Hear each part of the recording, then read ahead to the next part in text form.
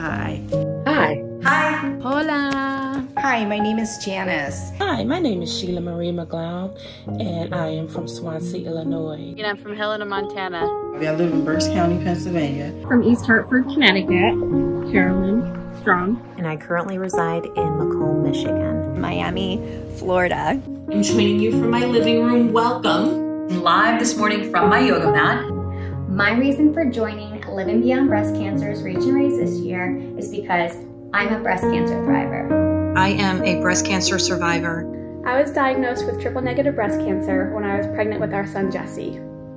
Metastatic stage 4 breast cancer. Stage 2 DCIS and invasive ductal carcinoma.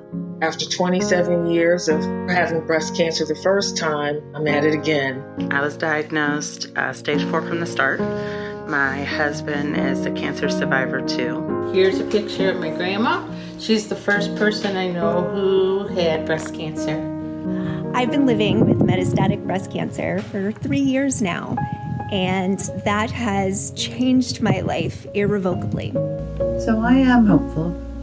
I am grateful. This pandemic has kind of forced us to reset and prioritize on what's important. And I'm very hopeful that when this ends, we will value human connection more than ever before. I can't wait to get back to seeing all my peeps again.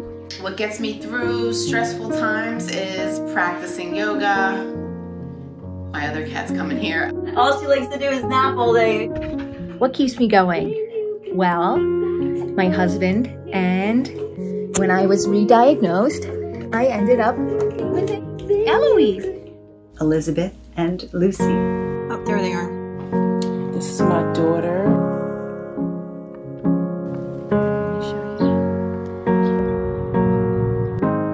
Hi. And I don't ever want her to have to worry about breast cancer in her lifetime. It's one of the main reasons why I'm so involved with Living Beyond Breast Cancer because I know other patients are going to need that support. Get your Wi-Fi together and your yoga mat, and let's reach and raise for LBBC. We rock! I love you and have a beautiful, blessed day.